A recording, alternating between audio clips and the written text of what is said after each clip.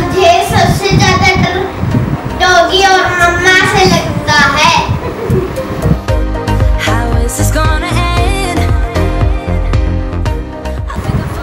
मेरा नाम हिमांक है। मैं सिक्स इयर्स का हूँ। रही हूँ मुझे गुस्सा होती है तब मुझे बहुत डर लगता है